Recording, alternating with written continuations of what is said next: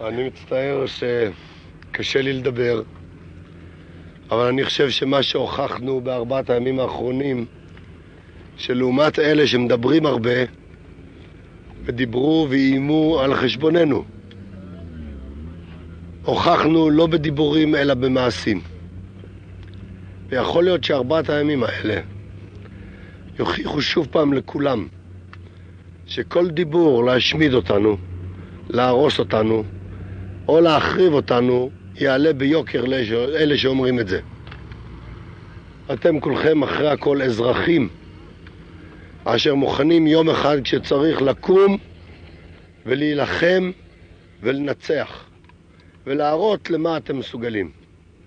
לעתים קרובות אומרים שאנחנו נעשים רכים, שאנחנו נעשים כמו כולם. אבל כנראה שיש לנו משהו מיוחד שקושר אותנו לארץ הזו ולעם הזה, ושמבטיח שקיומנו יימשך עוד להרבה הרבה דורות כמו שהוא נמשך עד היום.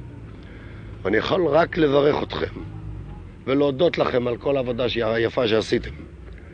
ויחד עם זה להגיד לכם שאמנם עוד לא ספרתי, אבל אני מאמין שאתם העוצבה אשר השמידה את, המרבי, את המספר הגדול ביותר של טנקים במלחמה הזו. אני אומר את זה מתוך זה מה שאני יודע. אני לא בדקתי את המספרים, אבל זוהי ההרגשה שלי וזו ההתרשמות שלי. ושוב פעם, תודה רבה לכולכם.